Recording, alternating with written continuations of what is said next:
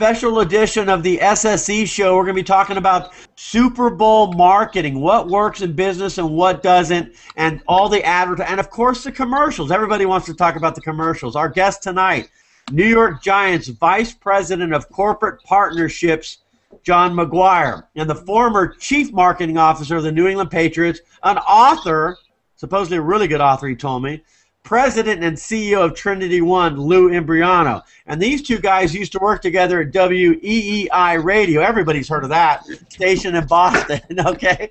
And of course, we're going to introduce all the panels and everybody involved. What we'll do is we'll start first with you, John. Tell me, uh, we're talking about the Super Bowl. You work with the New York Giants. Defending champions, I could have said that, right? About 24 hours ago. defending champions. Defending champions. What does it do? First, we're going to look at the team side. What does a Super Bowl do for a team, not just for the individual players, but for the business side? Well, uh, it, it, really depends. We won the Super Bowl back in 2007. I'm not sure the um, the team was ready for the, the immediate success the Super Bowl brought. Um, but with both the, the Super Bowl itself coming to New York, uh, we've had to ramp up, and then by surprise, we won it last year. I think everyone will agree. Uh, but we had a team in place that was ready to monetize the Super Bowl, and I think we've gone probably quadruple sales probably in the last four years. But that's really more due to the team success, the branding, and the 85 years behind the Giants. But once you get a Super Bowl under your belt uh, and you get a second one, you don't make the same mistakes twice. So, so we just essentially uh, locked everyone down for long-term contracts, um, sold the entire stadium out soup to nuts. So I mean, there's yeah, we're pretty we're pretty uh, pretty full as a Giants um, sponsorship team as well as a suite team and a ticket team. So it's been a pretty good run. And we'll go with Lou in a minute. I want to ask one more follow up, and then uh, we'll go for Lou, and then we'll ask everybody else can ask a question. Okay. So um, tell me, uh, Lou has brought this up before too. It's not just about winning. But when you get this opportunity, it's not just about the game. You got to market during the week of, and then after, and then where where is the big push for you guys? Is it actually after winning, or is it during, or before, or where? Well, for, for the, the entire sponsorship team, the season really doesn't start till the day after the Super Bowl, regardless. So, I mean, our, our big push now starts, you know, when the team is off and no one's in the building, is when the sponsorship team does their work. Um, you know, we'll run this thing up through mid-July, um, end of July through the training camp. But you know, during the season is when you build the relationships uh, because you have the access to the team, you have access to uh, the training facility, you have the access to the games and what happens on the field. So once people are engaged, then you're in a situation where you know you just want to convert that engagement into relationships and turn those relationships into money. Okay. Lou, you've been to a few Super Bowls. You said 18, but you were with the New England Patriots as the chief marketing officer. What kind of stuff did you take advantage of? Give some people some examples of uh, creativity that you utilized the Super Bowl for. Well, we looked at the uh, Super Bowl as a way to generate revenue right away. And so we uh, created this trips program and a hospitality program where we took many of our club members, suite holders, and, and folks with discretionary cash uh, to the Super Bowl. We we leased five at the time DC 10s, and we would have 12 different hotels with different rooms and parties, and we charged 15000 a couple to come down and enjoy it. And between that and the other pieces of hospitality, as well as some broadcast things, the team could generate 10 plus million dollars just in that two week period. And we did a nice job at, at, at uh, bringing incremental revenue in in that short window of time. And speaking of sponsors, a uh, good segue there. Um, just look over my shoulder. Uh, sponsors for tonight. Uh, we have some, and I didn't win a Super Bowl. I've been to nine, but these are our sponsors. UPS. Do more with UPS. JetBlue. Book now at JetBlue.com. And Bud Light, the official sponsor of the NFL. Here we go. And Bud Light, by the way, Budweiser won the ad ad Addy Awards for USA Today as the best commercial. Huh? How about that? And they're one of our sponsors tonight. That was a good segue, Lou. Way to, way to toss in our sponsors. all right. So if anybody has a question, please raise up your hands. If not, we're going to keep rolling here. Um, how, we're talking about sponsorships and, and all that kind of stuff. John, now you've, uh, uh, you know, in the old days it was just, hey, uh, get the sponsor banner up, get all this stuff. But with new technology, social media, interactive stuff, how much more creative can teams be with sponsorship packages? Um, Chris, could you repeat that, please? Yeah. How much more creative can teams be nowadays with new media, with sponsorship packages and their sponsors? Well, if you consider, what, what I think a lot of the teams do is if you if you take for example um, the cable companies that do what bundle pricing, where you buy, um, you know, you're going to buy your telephone, your internet, your on-demand, your six channels, your 300 basic channels. Um, they're going to try and bundle everything so you can get a, a value price out of the deal. What you want to do as a sponsorship team is you want to make sure that every single piece of inventory that you have is monetized. Now the good news is is the digital stuff is fairly infinite. You can create as much as you want. Um, the broadcast stuff has its limitations because you only have so much to put in a game. So you want to take a little bit from the broadcast. You want to take a little bit from the digital media. Uh, you want to pile on as much as you can. You want to have tickets, suites. You want to sell every single, a little bit of every single thing you can, and as much as you can, depending on the size of the advertiser and the size of the relationship. So, so really, the focus is is to make sure that every single sale brings everything you have as a team together, okay, and gives it to the customer. So when he when he goes on the field early before the game or has a big barbecue with alumni, and then he, he sees himself. Johnny, is that guy behind you playing pool? He is. He is. I know. I know. This is unbelievable. Do we have a pool sponsorship here? Yeah, that's coming up next. But you know, essentially, you know, and, and you know, to go a little bit back to the Super Bowl, is you want to make sure that, that Thank you, as Lou. doing all the sponsorship stuff, that you have every, all all of your customers are already contracted for the playoffs. So so you don't have to go back to them and say, hey, let's generate more revenue. You know, the second we made the playoffs, we had ten million dollars in the books because it was all contracted. Whereas in 2007, we didn't have any contracts, so we had to go ask people for money to go to the Super Bowl. This this time around, or, or last year, as the defending champion, one day removed. Um, you know, we had all lined up and done.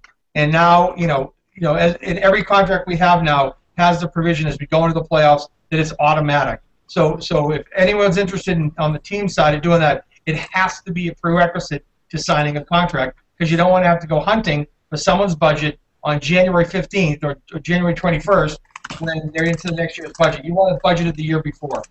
Absolutely. Interesting. And Lou, thank you for pointing out the pool. I was trying to figure that out. Now I see it. Where are you? What? What? Who's playing pool behind you? I, I'm in the common area. My computer broke down, so I had to I had to punt and come down to the common area of my building. Awesome, awesome. Well, if you want to bring the pool player on later, we can get him on the show. I'm gonna break a stick on this neck in a minute. Kempton, uh, you had a question. Go ahead. Yeah, I have a question, uh, John. So I want to ask you, John, uh, what are the current uh, existing strategy and plan that you have with interacting or engaging your, your fans on Twitter, for example? How do you like during the seasons and especially during uh, the playoff or the Super Bowl? Well, honestly, the, the, the you know we we're and Lou can speak to this because he worked on the Patriots. The Patriots are a brand that were about 30 or 40 years old. The Giants are 85 years old, so they're more of a they're more of a um, a birthright than they are um, a fan base. So if your father was a Giants fan, his father was a Giants fan, you're a Giants fan, and what you want to do is you want to get the entire nation all dialed into the Twitter, dialed into online. If if any bit of news comes out, you want to be the first to break that news. You want to break it on Twitter because everybody who's a Giants fan, we you know we have millions and millions of Twitter followers and, and online users and, and you know entire set of digital assets available to us. You know we've quadrupled in maybe the last two years the number of people that are actually participating with the Giants. But the way you keep them engaged for 365 days a year is you try and make events, the draft, um, big fan events. You try and do something at the stadium. You try and do telephone calls from Eli Manning. You want the ticket. You want all the fans um, engaged at all times because you just never want to lose them to another team here in the marketplace. So I mean, we're in New York where we have another football team. We have uh, two basketball teams, two hockey teams, two everything. Yeah. Um, so so we're competing with another 15 teams, and, and our real sales pitch is look, it's a birthright, and once a giant, always a giant. And if you stick with that core base, and that's really, you know, that if, if if that's your team, and, and it was handed down to you from your father and his father, then you're going to follow every single bit of information that comes down the pike. So you want to be the first with the information. You want to make sure you blast it out to everybody, so they, they you know, it, it, you want the dogs eating the dog food essentially, and that's what we use the digital media to do, is, it, probably more than anything. I like that called a birthright, and it's true. It's uh, you're going to follow the team. You went to the games with your dad. I did the same thing. You're not going to like the team that I was part of, but that's okay. Dallas Cowboys. hate you. We, I know, we hate you guys. It's all right. It's a good, but you know what? That's what it's all about. The rivalries make it. The NFC East has incredible rivalries. I mean, there's the Cowboys, Giants, Cowboys, Eagles, Eagles, uh, Giants. I mean, I can go on and on. Lou, And- and it do doesn't think matter- about all this stuff, this new technology, and how should brands and how should teams be uh, utilizing it? Well, I, I, it, there definitely should be different spokes of the wheel. I mean, eh, there has to be an all-encompassing marketing plan and a strategy. You can't just have a, a social media strategy and nothing else. That's that would be ridiculous. That's one spoke of the wheel. And you know, I'm a big believer that you, don't want to be pounding advertising right in people's faces. right? You don't I want like to be that. do- JetBlue. Go, Lou. JetBlue, Lou.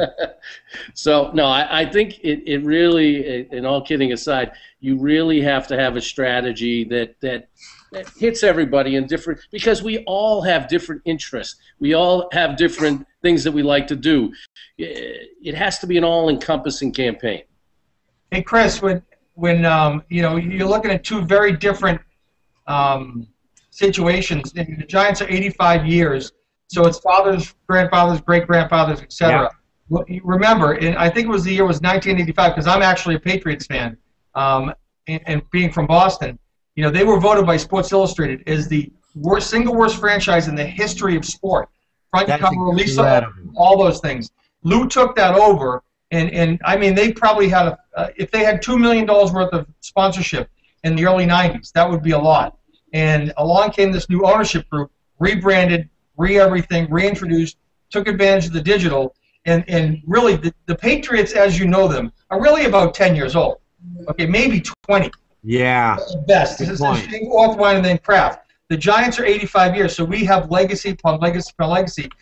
Lou had to to put the instant drink into the water and make an instant brand, and then act like they were the biggest brand in the history of the world, which they did.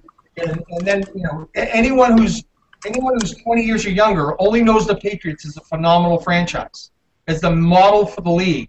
Okay, the Patriots were the worst franchise in the history of sport, and Lou and his team changed all that by taking advantage of all the things that came through the system at a very unique time. Granted, getting number 12 and Bill Belichick didn't hurt either, but it was the ownership group and the leadership. Uh, You know, it, look, it's not hard to represent the Giants. If they go 2 and 14, 82,000 people are coming to watch the game. Okay, but the Patriots were 2 and 14 forever, and they have they never had a legacy, and they have built this legacy in one business cycle, which is really the difference between the Patriots and the Giants. The Giants have 85 years behind them, so they're they're going to succeed just by being the Giants. The Patriots had to do it with speed and they had to do it with cunning, and it was it's a whole different business model, and that's the beauty of the league. Especially if you look around right now. I mean, if I had the Seattle franchise, which is not a very um, it hasn't been a very strong sponsorship franchise, they could get that franchise to top five in a minute because of the excitement wrapped around that particular team. San Francisco, same way, building a stadium. You know, they have some history, but if you're 20 years old, you know San Francisco is a terrible team. You don't know them as a four-time Super Bowl champion. Right, right. Mike, Mike Singletary and three wins and all that stuff. San Francisco has a chance to, to run this thing crazy. But then you take a look at something like the Jets franchise, which is a, an interesting model. Biggest market in the world, okay? More money available to that particular market than any market in the country, in the world, and they take it out of their own way right now. So it's so it, you know you take the individual team and you apply the set of circumstances, okay, for the sponsorship. And you know if you're if you have a great management team like they did with the Patriots and Lou, you know you go to number one. You know remember Boston's market rank is number 12. I think Dallas is number 11, and Dallas is number one in revenue. It's Dallas Patriots. Hey, Giants. hey, our market's number five now, media market, by the way. Is it? Yes, it is. Wow. Just so you know. All right. half Uh, the problem, half the problem, Chris, is that most of the these folks who are in business positions with teams either are a happy, just happy to be there, or b they think winning is the end all be all to, to generating revenue, and it's not. Now, don't get me wrong. Does it help?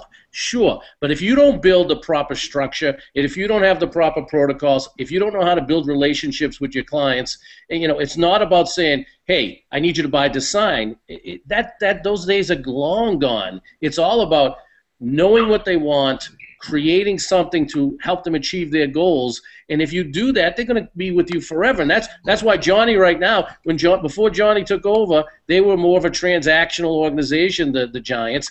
Now they're signing three, four, five year deals because they want to build off of uh, you know what the Giants can bring. The assets that the Giants have are very valuable. Well, I like what he said. I and he, by the way, Lou, you owe John big time for that compliment. Uh, that was really nice what he said about you, and you just said it. You followed up. The question is, it's not about winning. How do you market a crappy organization, teams that don't win? It seems like you did that, and how did you build that up?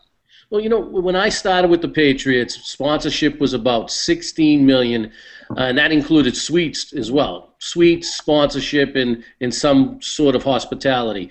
Uh, it was a very transactional way that they operated. We we I came from radio. John and I and in the group, we would spend time and invest time in people, uh, build relationships, go out with them, you know, Johnny, he does most of his business on the golf course, or at least he used to. I don't know if he still does.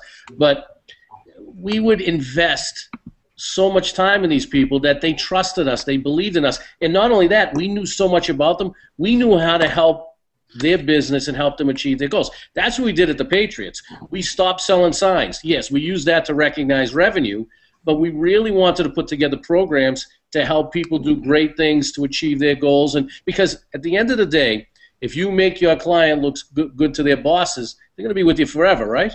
And that's all we did. Then, once we built that and we started winning and built a brand new station, it was a stadium. It was a it was lightning in a bottle, and we really we went from that. Uh, we went from 16 million to 24 in the old building before we had any victories and before Bill Belichick and Tom Brady. But then once we had them, we went from 24 to 92. So that leap was extraordinary, but we, we were positioned. Hey, Chris. Yes. Take a look at the. You know, you could probably answer this question better than we could because you live in Dallas. Yes. And Dallas hasn't won a thing in 10 years, and yet Dallas is the top revenue producer in the league. And you know, and, and they're still resting on the old Dallas Cowboys. That's America's team and all that nonsense. Yes. But but you know, a lot of it has to do with the organization. Look, they got a bunch of guys at the top, Jerry Jones being one of them, um, and even with the Patriots, the Kraft family, they they get out there and sell. They they, they don't sit, you know, they don't let someone else run the business.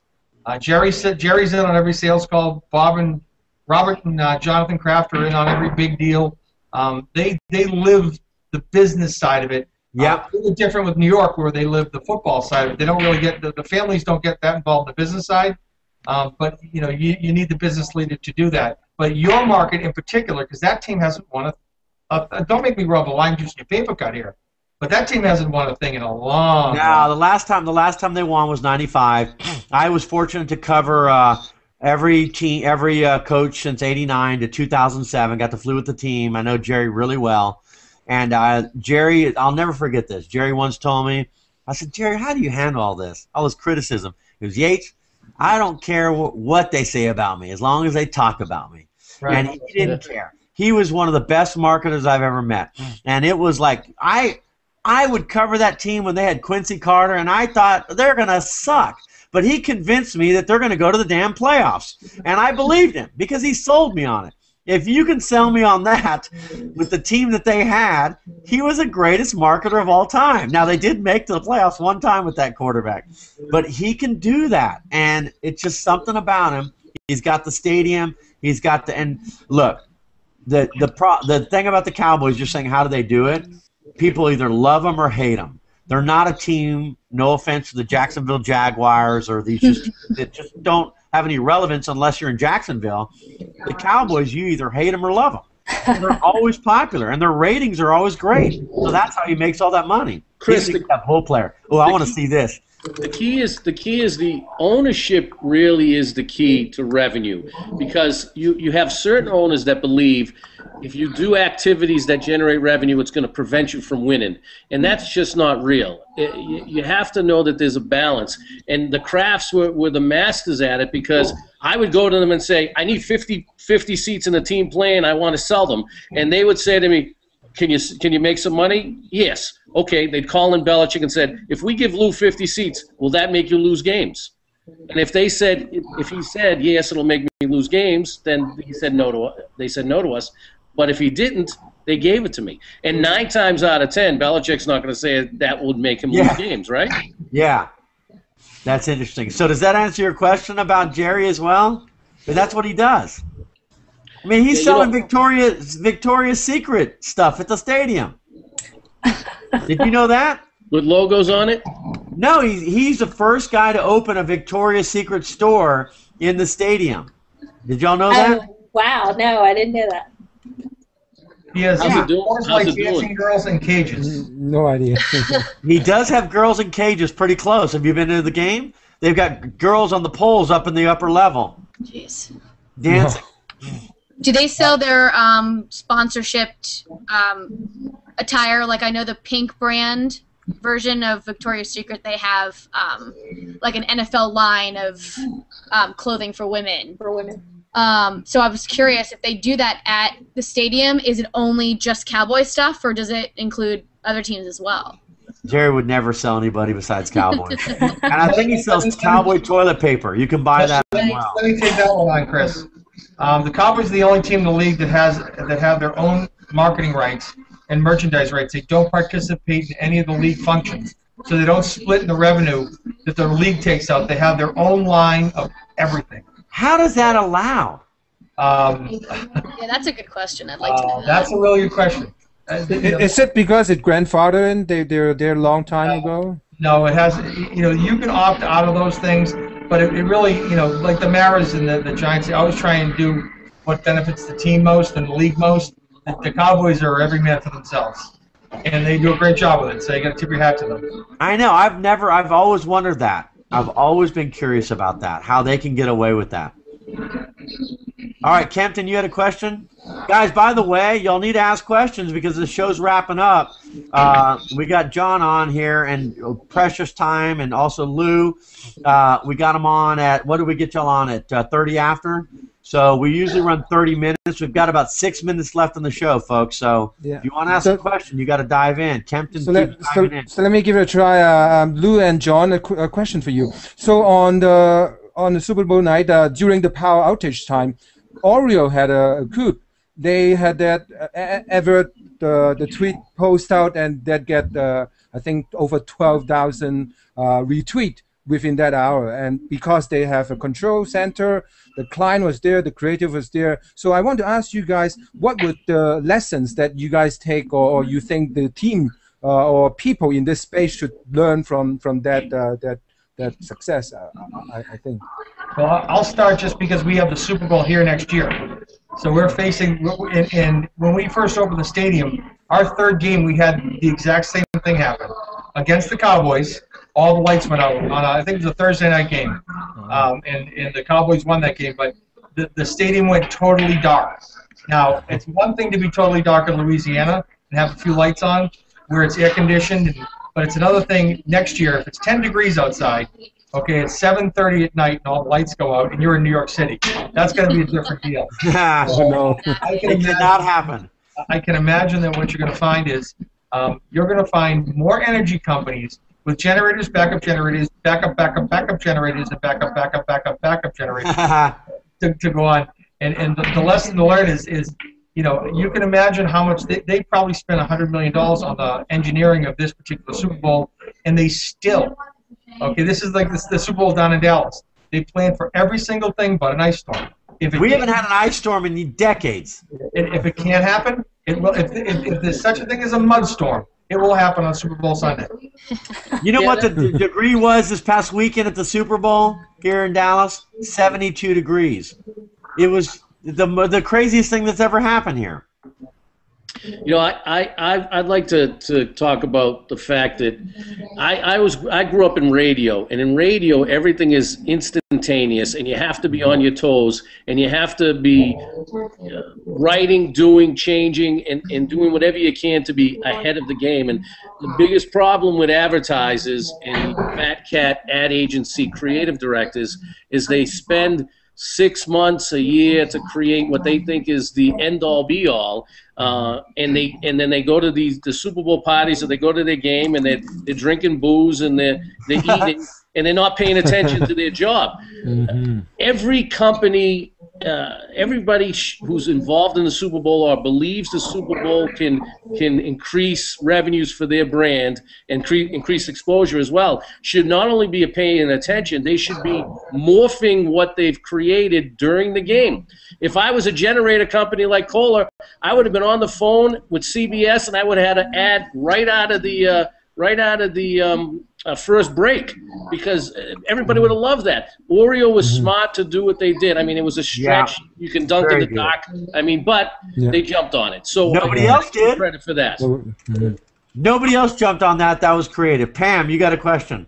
Yeah, um, John, just a quick question about um, crisis management. Um, I guess for next year's um, big Super Bowl. So, judging from what happened this past year, what kind of plan do you want to have in place if something like that happens, where you've got a lot of dead time, you don't really know how to fill it potentially, and uh, you know, 80% of the tickets that are used for the Super Bowl are for corporate sponsorship.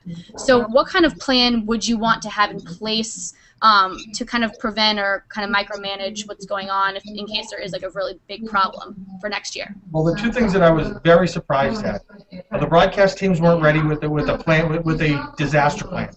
I mean, it took them 10 minutes just to realize the lights were out. It took them 10 minutes to to get everyone back in their booths to start talking, to start moving. So so they went to the only place they could go, which was the sideline reporter who had no information. So he looked like a dope.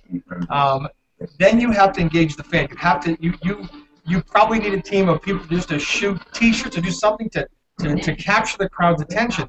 And you know you can't have people standing there doing nothing because if that had gone on 15 more minutes, fights would have broke out. It would have been it would have been a melee. If but think about that. If it was in 10 degree weather in New York City at nine o'clock on a Sunday night, it's gonna get crazy. So so you you you know you got to do a couple things. I was surprised there was no show of force. Usually when something like that happens, you see the mounted police walk out, or you see 500, you know, 500, you know, National Guards surround the stadium. I was very surprised we didn't see that. I think they were very, very fortunate that they didn't have a crisis, a real, you know, the lights were a crisis, okay, but the fact that nothing happened to result was the real savior of the whole day, because something really ugly, the front page could have been six dead at Super Bowl melee because the lights go out. You know, someone falls off the balcony, all those things. And I don't think they thought, boy, if the lights go out, what could happen? Um, if this happened, what could happen? You know, there's a, a series of a million things that could happen during the course of a Super Bowl or in any particular game. And if you're not ready with a plan to either evacuate people, to move people, um, to calm people down, and I didn't see any of that. And, and, and I, I'm hoping it's because they thought they had half the lights on and had it under control. But I was amazed I didn't see 500 National Guard out there. I was amazed at the things I didn't see. Maybe they had it behind the scenes and maybe they had it covered, which will come out over time. But with all with the hundred million dollars it takes to put on a Super Bowl, boy, I didn't see safety precautions like I, I, I would have expected. Yeah. Well, in honor of that question, why don't why don't we just ask the next question in the dark? Everybody, turn your camera off. We'll do a blackout real quick. This will be kind of interesting. So everybody, do a blackout. We're gonna do a little Super Bowl blackout. Uh, John, your camera thing is up there. You hit the camera deal. All right. Robert, Robert, you're the only one lit up, and and John is the only one lit up. Perfect, Robert. You can ask a question to John now in the dark. Go ahead. I can't hear him. I can't hear you, Robert. All right, there Are we you go. muted? Yep. Should be good. Uh, hi, John. Thanks for coming on. Uh, I'm a UMass Amherst student uh, studying sport management, and uh, I've gotten a few internships and sponsorships so far. I was wondering if you have any advice from uh, the beginning of your career in sponsorship as to you know how to get to where you are today, working in the NFL I do. sponsorship. I, I do. I see an awful lot of kids. I, I interview an awful lot of kids. I am amazed at everyone who does the cookie cutter stuff. Uh, same resume, same cover letter, same I'm a people person speech. Um, you, you know, this is going to sound. I apologize for what I'm about to say, but I say this to every kid I see. Okay, I say this to everyone who comes in and does. Don't be a pussy. Just come in and just, just tell them what you want. Fight for your job. You know, if, if you go in there and you tiptoe in, I'm gonna eat you. I'm gonna throw you out the window. I want nothing to do with you. And, and that's, um, you know, it's funny because um, I say that I say that unilaterally, and I mean it in the small cat kind of way. Um, look, you have to really um, show people what you want to do. And if you come in there and you tiptoe in, look, I'm going to see 100 people in a month, okay? One's going to capture my attention. If it's not you, you know, get to the back of the line, and, and that's the truth. Um, I have a 26-year-old kid who chew you, a gal, blonde gal, great kid, sugar and spice and everything nice, would chew you up and spit you out. Okay, she's so aggressive. Um, you don't have to be that, that, that type A personality, but you do have to be ready for the interview. You have to be willing to do whatever, you know, you just, you know, if, if one person, one more person says, I'm going to get my foot in the door, I'm going to chop his foot off. Um, you want to run the you company. You want That's to rule true. the world. Okay? So don't make no impression at all. Okay? Make it go big or go home. That's New York style, baby. Yeah, and Robert, I'd, I'd add to that. I would say leave and check your jersey at the door because we we don't want any fans working for us. Oh, Because you know what? If you think True. like a fan, you're not thinking like a, bu- a business person. I love the fans. I wanna I wanna provide them with a, a good time and a, and and fun opportunity, but I don't want them working for me. I got to be honest. Gentlemen, uh, we got about two minutes to go. We've talked about everything from uh, Super Bowls to marketing to business. Got to ask this one to end the show, for goodness sake. Let's go down the aisle. What was the best commercial? Who did the best? And all you people that are quiet, and I'm putting you on the darn spot. First, Ann, what did you think? Super Bowl commercial. Do you have one? What did you like?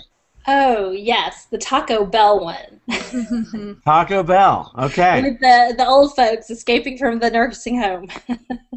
All right, I'll be next since I'm uh, next on the line. I'm gonna go with a uh, I don't know something's in my brain. Budweiser, Budweiser. I don't know. It seems like it's right here. It's not. Oh, and tonight's sponsors, by the way, uh, Bud Light, the official sponsor of the NFL. Here we go. JetBlue. Book now at JetBlue.com and UPS. Do more with UPS. I love the Clydesdale one. I almost cried. That may made me wimpy, but I don't care. I does. loved it, and USA Today voted it the number one. They won the number one commercial. So I'm going with Budweiser, King of Beers. How about you, Diana? You know, I'm with Ann. I love the Taco Bell one. It was amazing, and I would have not expected it. So yeah, that's that's my completely unexpected. John, can you give an answer to this one? Well, first I'm going to say I'm going to get you tissue, Chris. Thank you. I'm gonna cry. If, if, if it was on sheer, um, which one do I remember the most? It's the kiss.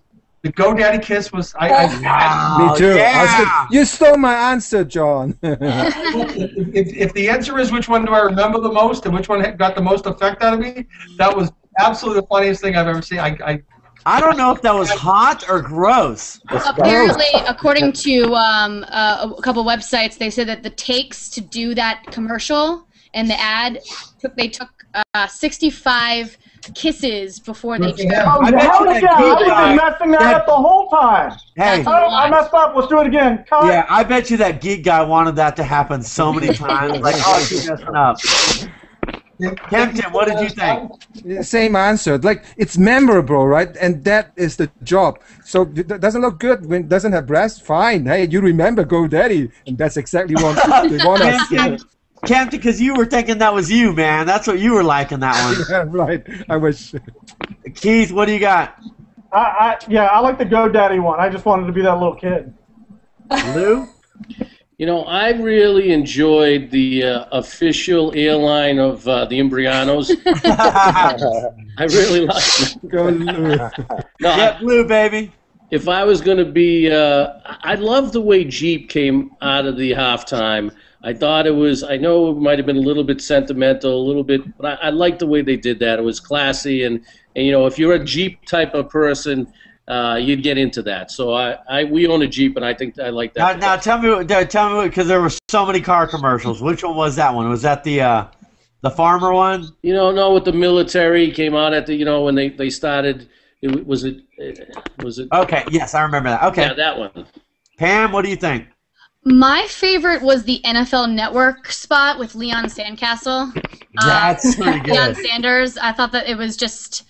I, I laughed hysterically out loud throughout the entire thing, and I just thought it was really creative. They actually had created a Twitter handle for it as well, and are kind of joking back and forth with the NFL about it. So I, that that definitely was my favorite of the night. Robert? Uh, I had two, if that's allowed. Uh, I like the Audi one towards the beginning where the kid comes out of his car, goes in the prom, and just drives out. That was a good one. Oh, yeah. And then, uh, a little biased, I like the Samsung one, probably because I'm part of the Galaxy family. But I thought it was pretty good. Seth Rogen, Paul Rudd, That a little good- LeBron cameo. Charles? Well, I watched online, so I missed about half of them. But I'd have to say, out of the ones that I did see, it was the Budweiser one as well. Yes. By the way, our sponsor tonight. No, I'm kidding. Is that- hey, man. Thank you to our sponsors. Thank you uh, to John McGuire, uh, Lou Embriano. Thank you guys for coming on. Uh, I know Lou's been on our show before. John, what did you think about a Google Hangout? And uh, next time, if you want, uh, bring Eli Manning with you, and we'll uh, look. I'll help you gain sponsorships. We'll do some Google Hangouts for you guys. Wow. Wow, this is great. Nice to, nice to meet y'all, guys. Thanks for joining. Did you enjoy John. the Google Hangout? Was this your first one? Really appreciate you coming on. My pleasure. Great hangout, John. Unfortunately, J.W. Cannon was sick tonight. We'll get him on again another time. Everybody, I appreciate you. and thank you for coming on. Diana, John McGuire, Kempton, Keith Knox, Lou Embriano, Pam, Robert Hanlon, and also Charles. We'll go off the air and uh, and then we'll sign off. Thanks, everybody. Next week we have another great show. Uh, I think we're going out of space with NASA, supposedly. All right. Good night.